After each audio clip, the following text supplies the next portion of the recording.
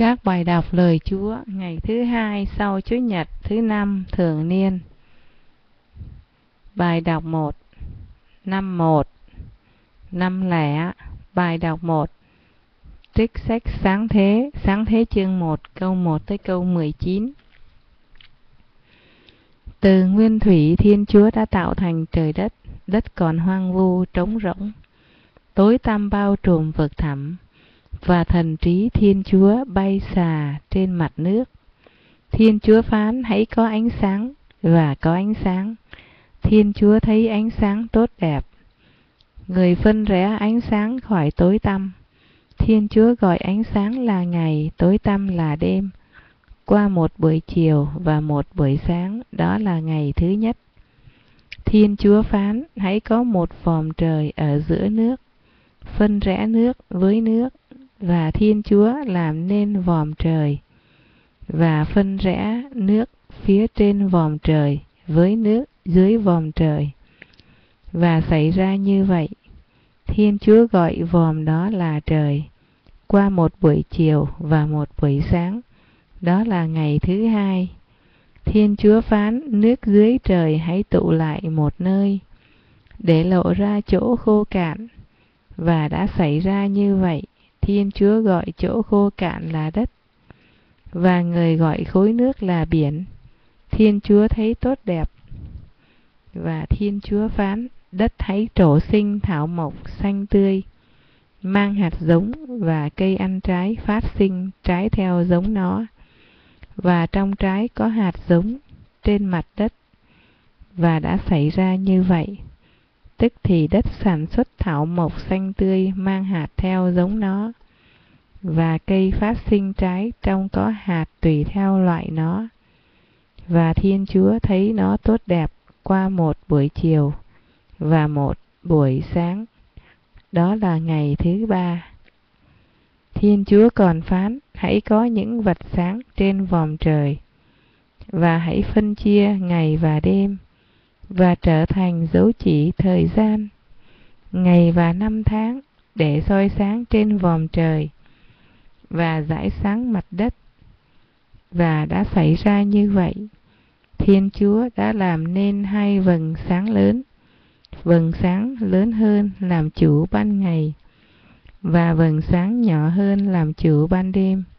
Và Ngài cũng làm nên các tinh thú.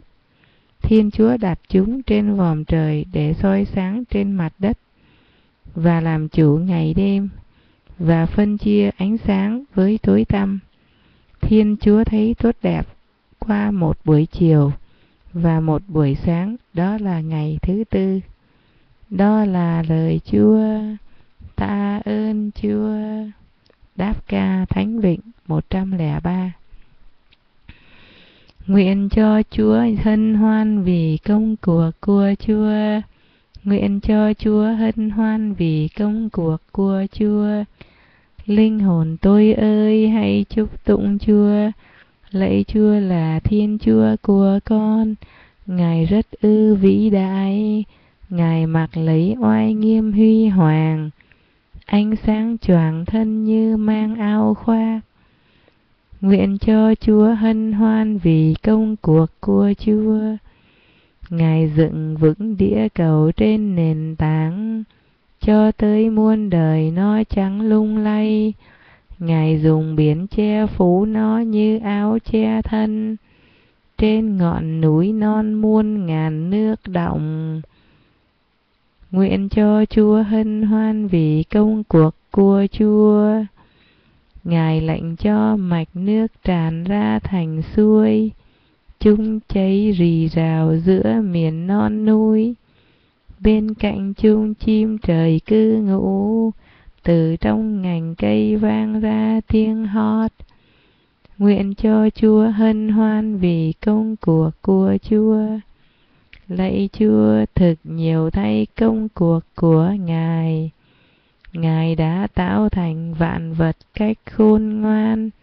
Địa cầu đầy dẫy loài thụ tạo của ngài. Linh hồn tôi ơi hãy chúc tụng chúa. Nguyện cho chúa hân hoan vì công cuộc của chúa. Alleluia, Alleluia, Alleluia. Gioan chương 14 câu 5 Chúa phán Thầy là đường, là sự thật và là sự sống. Không ai đến được với cha mà không qua Thầy. Alleluia, Alleluia, Alleluia. Phúc âm Tin mừng Chúa Giêsu Kitô theo Thánh Marco, Marco chương 6 câu 53 tới 56. Khi ấy Chúa Giêsu và các môn đệ qua biển rồi, các ngài tới miền Genesaret và ghé bến.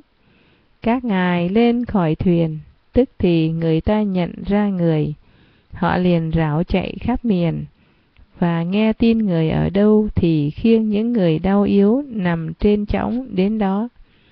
Bất cứ người vào làng, trại hay đô thị nào, người ta cũng đặt các bệnh nhân ở các nơi công cộng và xin người cho họ ít là được chạm tới gấu áo người và tất cả những ai chạm tới người đều được khỏi bệnh. Đó là lời Chúa, lạy Chúa Kitô ngợi khen Chúa.